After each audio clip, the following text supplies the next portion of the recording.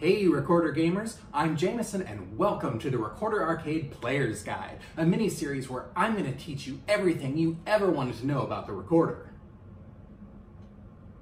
But not that type of recorder. Where I'm going to teach you everything you ever wanted to know about the recorder. This is a boombox cassette recorder. Really? Where I'm going to teach... Oh, come on. This is a blender. The recorder. It's a woodwind instrument classified as an internal duct flute or a fipple flute that utilizes a whistle-type mouthpiece. The recorder is distinct from other types of fipple flutes by the addition of the left thumb hole on the back. Okay, okay. So when I say internal duct flute, it just means that the sound is created inside of the instrument. Here, let me show you how. So this is the head joint of the recorder that contains the mouthpiece that you blow air into. And as the air travels through, it exits through this tiny little windway that you can see there. And it hits this sharp ramp called the fipple.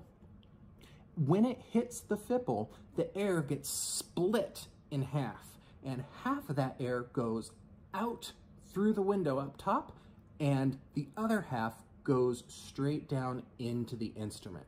And that is how the sound is created on the inside. So along the body of the recorder, you have a number of holes here. You have three for the fingers of your left hand, plus the one on the back for your left thumb, and you have four for the fingers of your right hand. Now these last two have what we call double holes, and I'll talk about those a little bit later because those get important as we start talking about the larger recorders that need keys.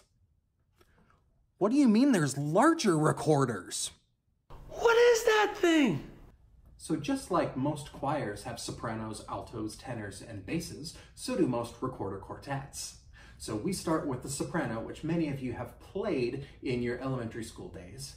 And then we move up to the alto, which is quite a bit larger. We can then move on to the tenor, which is exactly twice the size of the soprano, and even moving forward to the gigantic bass recorder. But believe it or not, this is nowhere near the size of the largest recorder out there.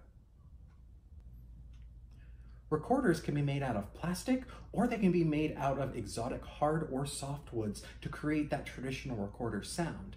But the thing that really gives the recorder its unique tone is what we call a reverse conical bore. So the bore of the recorder is the hole that goes right through the middle of it.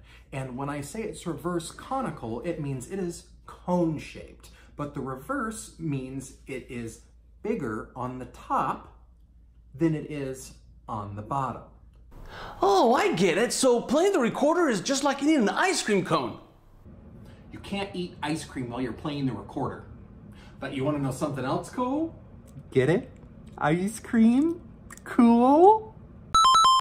The recorder as we know it today has been recorded to being used as early as the year 1388, and archaeologists have even found fipple flutes with the signature left thumb hole for the recorder carved out of animal bones that were dating back to the Neolithic period.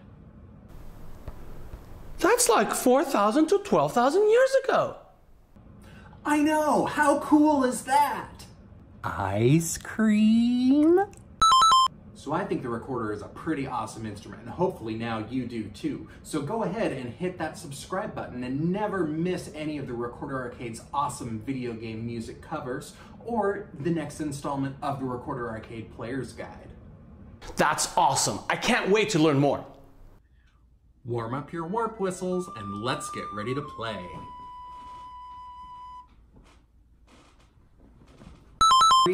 To, for the, the how?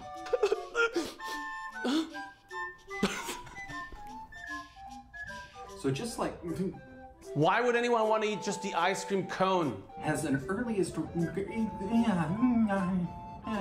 Dude, I get it. I speak bad English. Good.